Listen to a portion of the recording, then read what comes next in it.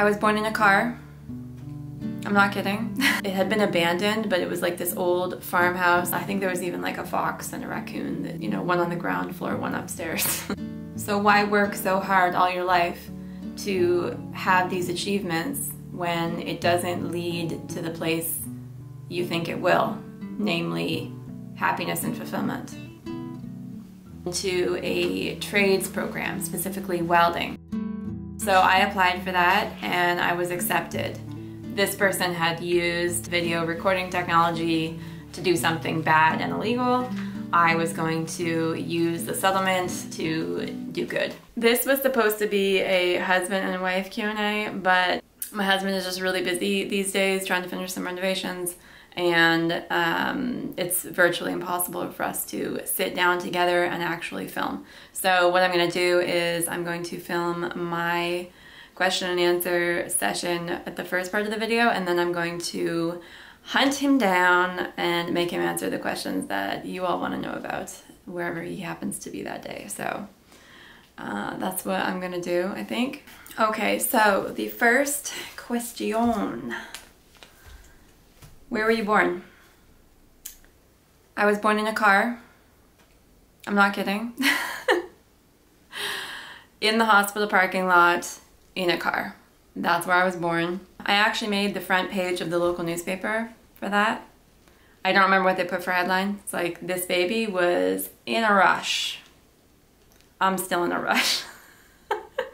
Not much has changed. Anyways, I was born in the province of Ontario, Canada. I still live in Canada. We live in Canada. I'm Canadian. Cheers. You mentioned you grew up off the grid and homeschooled. Can you tell us more about what that was like? My parents bought a farm the year that I was born. It was like this old farmhouse. It was on 200 acres, so I had a large um, plot of land that came with it. See, some people have, uh, how do you call those things that fly up? Drone. Some people buy a lift. Yep, exactly. the farm was built in like, I don't know, the 1800s. So it was this big stone house that had no insulation in it. Uh, it was plaster, lath and plaster walls with like horsehair to hold the plaster together. And it was in rough shape. Like it was, it had been abandoned. It had been sitting for I don't know how many decades before my parents bought it. Um, it was it was not in good shape, and I think there was even like a fox and a raccoon that you know one on the ground floor, one upstairs. they shared the place. Uh, so yeah, there was like animals that had uh, made their home there, and it was beyond the boundary of where the power lines ended. It was on a gravel road out in the middle of nowhere, basically, and it was wonderful but it was definitely challenging. I mean, this is something that my, I think more so my dad, but my mom was also in agreement that they, we should live this way. Um, they wanted a quiet lifestyle, and there's a child calling me. I tell ya, you know, nap times are just not long enough sometimes. It's just. I... Okay, so off the grid and homeschooled, yes. So I don't know how my parents managed it. Like, think about it. No slow cooker, no food processor, no laundry machine. My mom, so because we didn't have a laundry machine at the at the house, she oh don't touch it. Don't touch it. This is my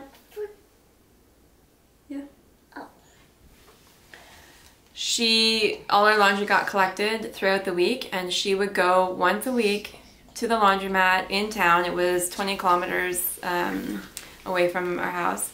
And she would schlep 10 11 loads of laundry every week to the laundromat and be there for I don't know how long but like just washing all the clothes drying all the clothes. And that was her routine for years years and years. Uh, wow it was important to my parents that they would have enough space to raise their kids and be able to grow a lot of their own food. And so that's what they did. We had very large gardens that we would plant and harvest all the food from that, and that's what we would eat. Uh, I mean, we would shop at the store too, but um, a lot of the food we ate was stuff that we had grown ourselves. So it was organic, and we also milked uh, a cow. So I grew up um, milking a cow. I know how to do that. How we cooked was a propane stove, and also our fridge was propane. It was from a, don't touch it. It was from an RV. For lights, we had kerosene lamps and candles. And the and for heat, we had um, a wood stove. For water, so we were on a well. Uh, obviously, there was no sewer connection or city water. We were on a well. We also had a cistern under the floor. And this cistern, it would collect rainwater from the roof of the house. There was like a way for it to get down from the eaves trough and go down into this big concrete cistern that was under the floor. So that water we would use to flush the toilet and to wash with, like the, the rainwater. And then the well water was for drinking and for the animals, we would give them well water to drink as well. When I was 14 years old, my dad did uh, purchase and install a solar system. So we had uh, solar panels that would track the sun, collect energy, and be stored in batteries. He eventually got the house wired uh, with plugs and stuff, so we could actually like plug things in and have power.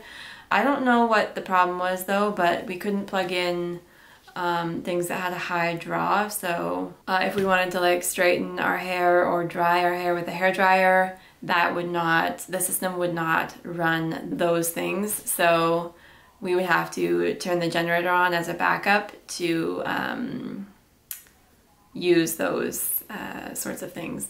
We had cows, chickens, pigs, uh, sheep, goats, uh, rabbits, dog, cats. What did I miss? Ducks. We had ducks. So it was sort of like a hobby farm um, type of farm. One of the things I loved to do the most as a child, so we had these big round um, hay feeders for the cows. Uh, in the winter and my dad would fill it with a hay bale like you put a hay bale inside the feeder and the cows would all come around stick their heads through the openings for the for their heads and I would as a child I loved to go and climb up in the feeder sit in the hay like I would make myself a nice little comfortable nest in the hay and just like feed the cows pet them talk to them like it was it was so much fun and I loved it I could just sit there for hours I loved to do that it was like one of my favorite pastimes as a child heard the dog yelp and something squeaked and it went flying up in the air. Something must have got a hold of her face. Hi. Wow. Reese grabbed the dog. Where's the kitty? Over there by the wheel. Say here, kitty, kitty, kitty. It's hiding from you.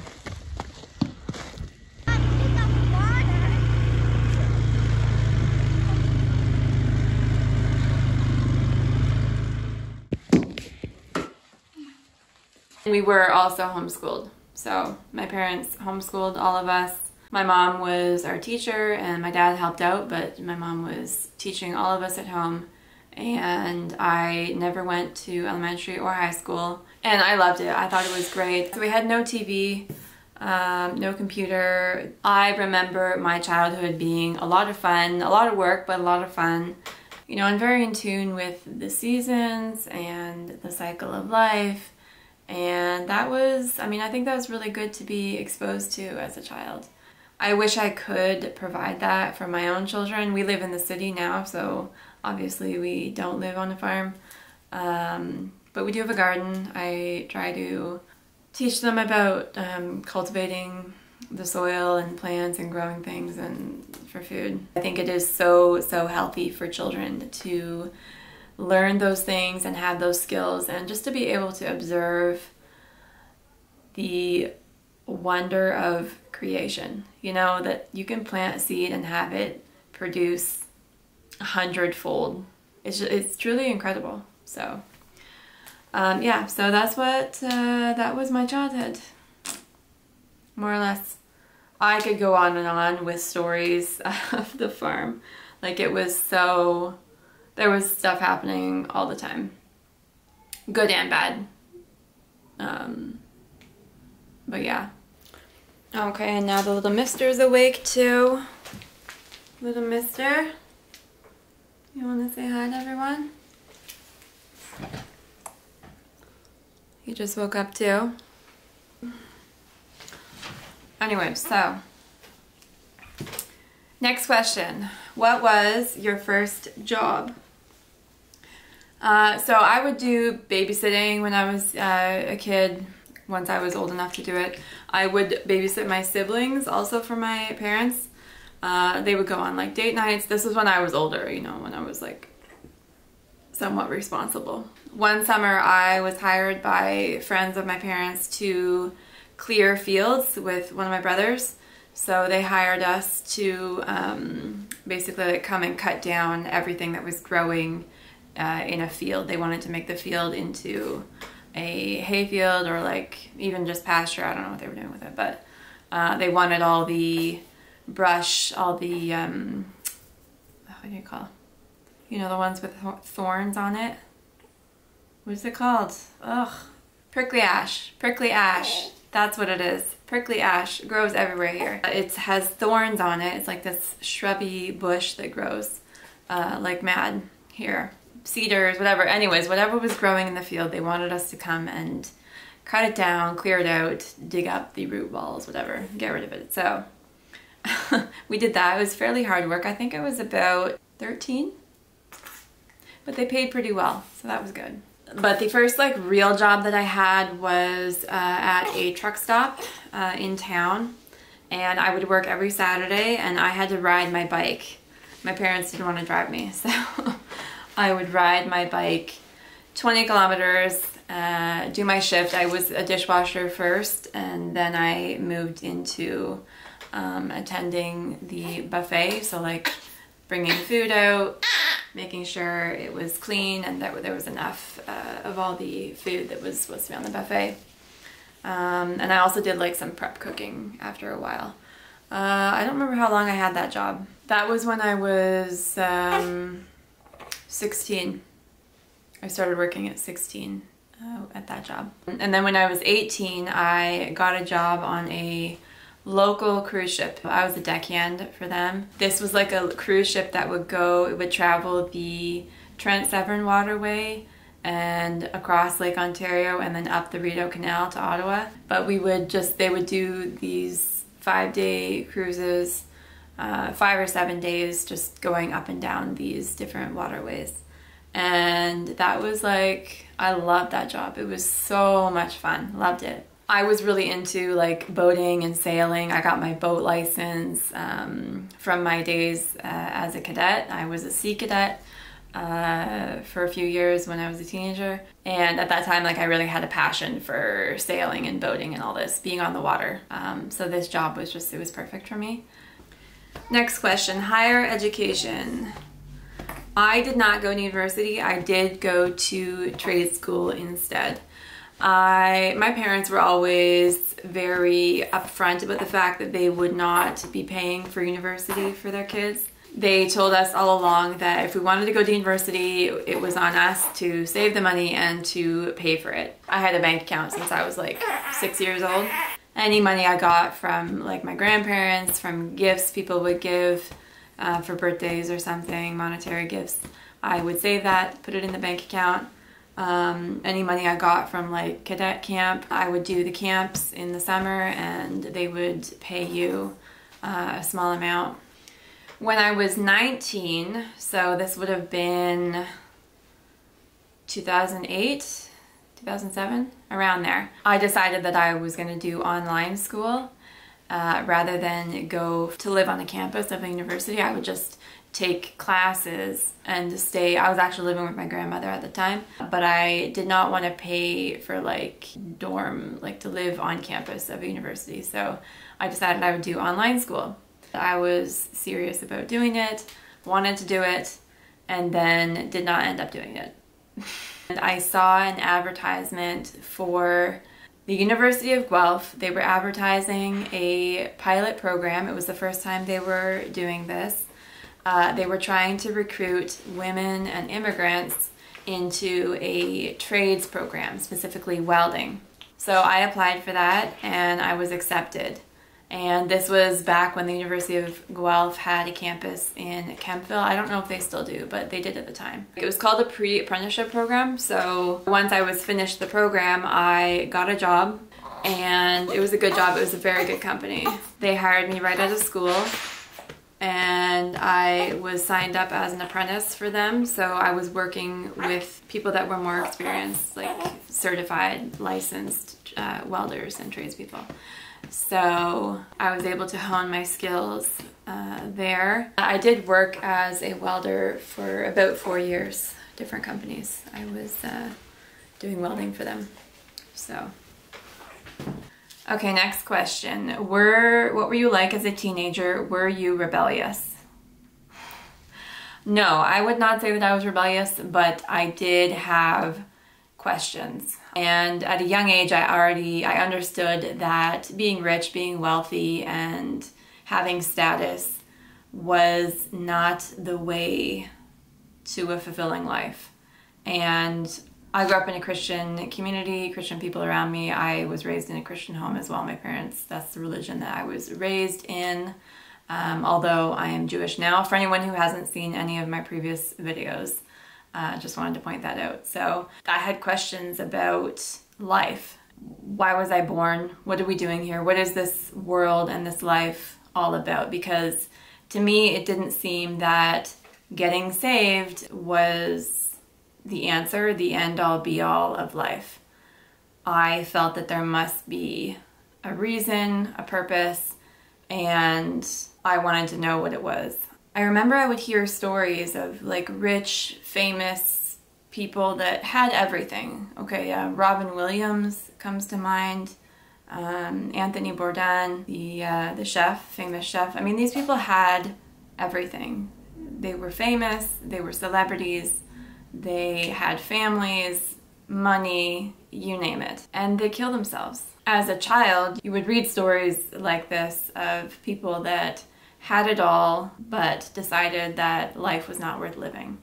And to me, that just didn't seem right. And I remember this making a powerful impact on me. I really wanted to know why this happens and why these people, why they decide to, to go this route.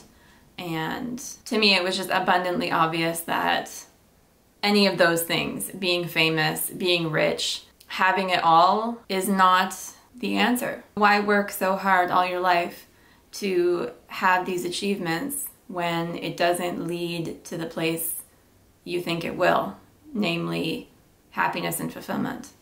I don't know. You can have a certain goal, but how do you know that achieving that goal is going to bring you the happiness and the fulfillment that you're looking for.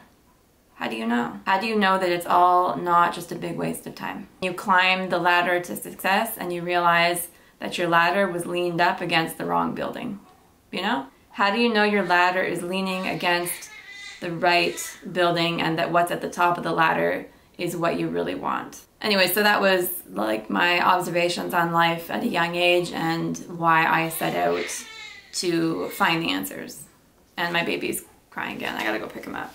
So these questions and the fact that they were not satisfactorily answered and my deep unease with some of the Christian ideology and practices uh, caused me to make decisions such as mm, stop attending church, stop to do uh, communion, drinking the juice and eating the little crouton. Um, I stopped doing that at a young age. And these things may have seemed like acts of rebellion against the religion of my parents, but looking back now, it was it was just part of my journey and it was a way for me to distance myself from that religion. I also think it's pretty normal for kids that age. Um, when you hit your teens, you start asking these existential questions. So I don't think it was anything out of the ordinary. I never threw the baby out with the bathwater. I always believed there was a God. I always believed there was morality and there was right and wrong and there was such a thing as truth and I just didn't know what it was. I feel like my mid-teens up until the time that I discovered Judaism was basically just a quest for meaning and purpose and for the truth. And once I discovered Judaism, then I had my questions answered. I found such a passion and a love for God and for Judaism. Not to say it was easy or that it was a smooth journey, it definitely was not. It had its ups and downs but I never imagined I would be as happy as I am. I'm nowhere near where I would like to be with my learning, but that's part of the beauty of the journey is always striving to be better, to grow, to grow in your knowledge, to keep striving for more. So, okay, next question. How did you and your husband meet? And how did you know he was the one? So this was when I was working as a welder. I worked for a company in Ottawa and one day a coworker, a friend of mine, she invited me to go shopping with her at the nearby shopping center for a birthday gift for her boyfriend. And I said sure. And if there's one place that I almost never go is the mall. I do not like going to the mall. I don't know what it is about them. Just so much materialism and uh, advertisement and people that look like they forgot to get dressed. But anyways, I agreed to go shopping with her to the mall to look for a gift. So we go shopping and she sees something at a shop that catches her eye and she goes over and, and looks and she also had a birthday coming up so I could see that she was interested in this item so I tell her that I will purchase it for her as a birthday gift for my friend. Wow. And the salesman that took my payment was this cute man that he was nice and friendly. And on the back of the receipt, he just put his name and number. We had chatted a bit, like while we were looking at um, the things that were for sale there, and he was nice and seemed interesting. And I wasn't dating anyone at the time, so a couple days later, I texted his number and I said, Hey, do you remember me? It's the girl from the mall. And he answered me, he called me back, and we talked for quite a while on the phone. He told me all about himself, basically, and I did the same. We really hit it off, like, from the very beginning. So this was in January of 2011. It was the winter time. And the Rideau Canal in Ottawa, uh, they turn it into, like, this big skating rink in the winter. So I was going to go skating with a group of my friends and so I invited him. I didn't realize at the time that him being Israeli, he did not know how to ice skate. Being Canadian, I grew up ice skating. I was basically lived at the pond and I grew up skating. Kudos to him for just standing out on the ice for like hours. That was our first date. And then afterwards, he invited me to his place, and his mom was actually visiting from Israel at the time, and so I got to meet his mom basically the date, the night of after our first date.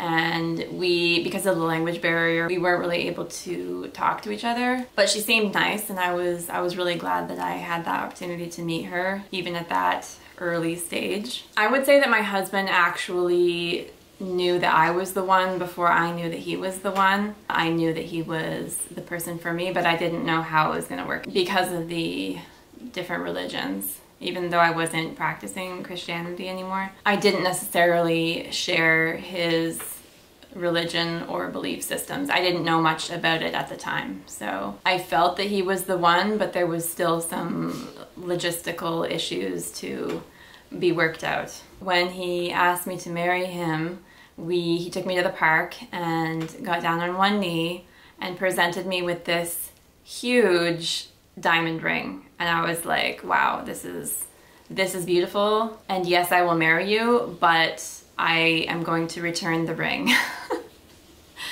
And I'm going to use the money to buy a rental property. And this is going to be uh, an investment property for us I was big into like financial freedom and having a rental property was, I already knew at that age that this was one of the ways to eventually quit your day job. And also my father uh, was a property owner. He didn't have like a regular day job. So my dad was a big influence and inspiration to me as far as uh, real estate investment went.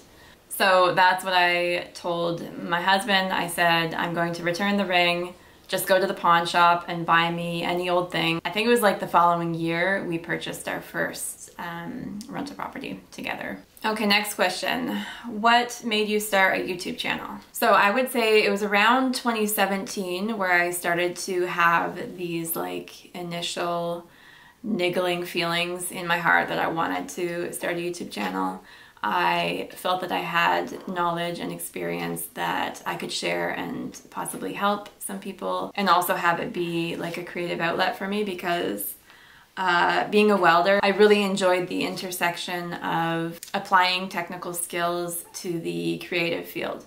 When I was welding, I took a job with an art studio in Toronto and I was a welder for them and they were doing like these crazy light fixtures and uh, furniture, really almost like sculpting in metal. That was kind of like around the time where I discovered that I really had this uh, passion for a form of the arts and creativity. I really enjoyed that. I really enjoyed working with my hands and having what to show for at the end of the day.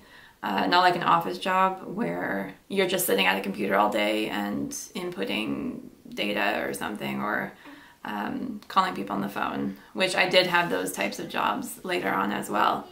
But I found it really enjoyable to work with my hands and actually create something. The problem was I didn't know, I didn't have a clear idea of what I would make the channel about.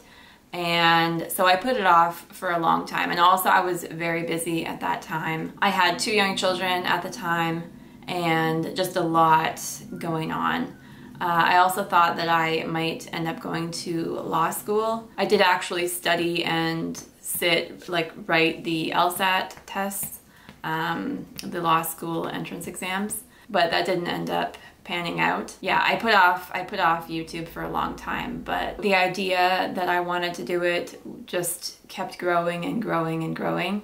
The other thing that happened around that time was my mom, I got a call from my mom. And she's like, are you sitting down? I was like, yeah. And she asked me, do you remember your old orthodontist from when you had braces? And I said, yeah, of course. And she said, well, the local police have raided his clinic and found that he had been um, illegally recording his underage female patients and your name is on the list of one of these girls. I was like, whoa, wow. What do I do? Like, is it do I to do something? Like, what? I don't know. She's like, you have to call the constable in charge of the investigation. He took all my details and he said, you can apply to be part of the class action lawsuit that is going to be moving forward against this person. So I did. I did all of that. I decided at that time that I was going to use video for good. It just seemed like the right thing to do with the money was to invest it in purchasing the tools that would allow me to create something that would help people. This person had used technology and specifically video recording technology to do something bad and illegal. I was going to use the settlement from the court case to do good. And that's what I did. It seemed like poetic justice to me, you know? Can you be quiet so you can make a video? Trying to make a video together? No? Who put their own highlighter on today and was a bit heavy-handed? Not me. What? Abba? Abba's calling us? So I'm trying to do it nicely. It doesn't really work well for me. So where from? I'm from Israel, Jerusalem. I born raised in Jerusalem. We have four siblings, two sisters, two brothers. My parents originally from Iraq, Iraq, Kurdish, Syrian. We have some mix there. Why I came to Canada? I thought I'm gonna be here for like uh, for a year or two, traveling, making money, whatever. Go back, buy apartment, and back home. And I got stuck. I found my wife, and I'm happy. It's good. But B'ezrat Hashem will go back. Why did we decide to get married?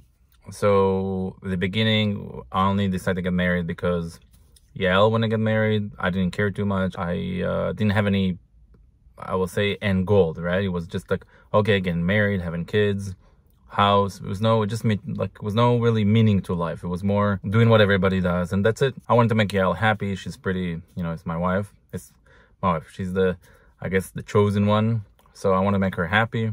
How did I know that she's the one? Uh, I don't know how to explain it, but I can say that when I met her, it, I was in one level of love and, and appreciation and charmed by her. But it's nothing to compare to today or every day that we see each other or, you know, it's like the relationship with Hashem or with Torah. The more you learn, this is how I see it. The more you learn, the more you dedicate yourself to the relationships. It's so hard, you know, in Torah it's so hard. But if you do it in the right way, you, you, you can't stop. So you fall in love even more. And I think I love her way more that I love that I ever loved. And every day I, I, you know, it's, it's getting stronger and stronger and stronger. The, the feeling, the appreciation, the understanding, the, the, everything. Hashem chooses for us, right? We just do in our way.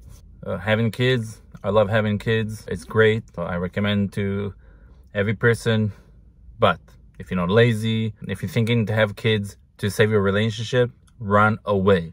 This is not going to save your relationship. Having kids, it's between healthy relationship between two people. Do not have kids with someone that you don't have a healthy relationship. You're going to ruin your life and the kid's life. And we have enough messed up kids. My personal opinion. Uh, so have a good relationship with somebody and have a great guidance from a rabbi. A rabbi is really important to have in your life. A good rabbi, a real rabbi. One more question. Yeah. I promise we will do a proper husband and wife Q&A at some future point. It just didn't work out for us this time, but hopefully in the future. B'ezrat Hashem. If you haven't seen yet the videos that I made answering questions about my conversion to Judaism or the reasons why I decided to convert to Judaism and that is of interest to you, then I will link the videos right here up on the screen and you can click or tap those if those are of interest to you.